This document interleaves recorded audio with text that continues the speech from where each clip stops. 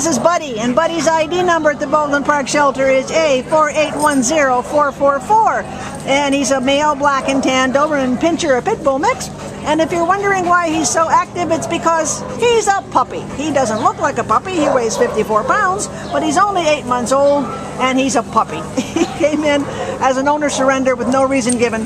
But I tell you, he is going to be a great dog. He scored an A minus on his temperament test here at the shelter. He just needs puppy training. He needs somebody who's going to be calm and oh, there you go. There, that makes yeah, that calms him down. That's good.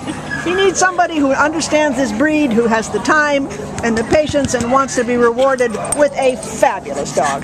He is gorgeous. He is energetic. He's going to be a good family dog, don't you think, Jeanette? Oh, he's great. He, I mean, he's, he's he's just funny. The Yeah. stuff he does.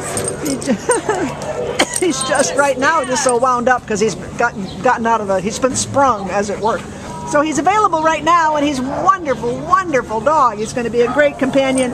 If you can handle this kind of guy and can train him come on down and get him. He's a sweetheart. Did i say where he was? Yeah he came in as an owner surrender. March 22nd with no reason given. Come and meet him buddy